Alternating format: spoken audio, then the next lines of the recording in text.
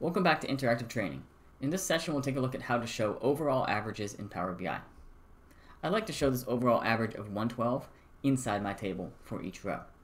In the table, if I just drag units sold and change it to average, I just get the average for each row, not the 112. In order to show the 112 as a row, you need to click on your table, click on New Measure, and write some logic. You'll see in the middle of this calculation, we simply did an average of units sold. We wrapped the average function in a calculate function. We're going to calculate the average units sold across all union. Union is the name of my table. When I bring that calculation into the view, I get 112 for each row. But what if I want it at a different level of detail? I'd like to calculate the average at date and region level.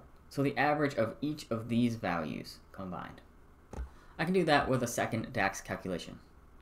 Let's click on my table again, click New Measure, and have a new calculation here.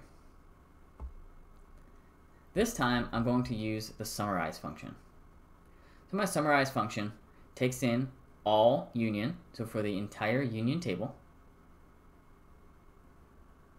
It aggregates it by date and region, and takes the sum of units sold as total quantity. I'm going to wrap that function in an average x calculation. The first part of average x is summarize, and we want to output total quantity. When I bring that calculation into the view, I get 140. That's the average of all of these numbers combined. There's one issue with this calculation.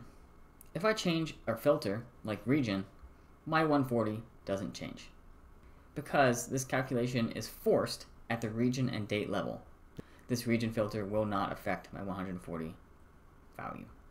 In order to account for that, let's take a copy of region by clicking on my table name, new column. I'm just going to call this region 2 and reference region. Let's add region 2 to the view as a filter and adjust our calculation. The only line you need to adjust in this calculation to account for the region 2 filter is changing all to all except, referencing union table still, and passing in union region 2. So what this is saying is create a table except for region 2, allow the region 2 filter, and leave everything the same. Now when I select the east region, my average has changed to 85 which is the average of 80, 85, and 90. If you enjoy this content, make sure to like and subscribe for more.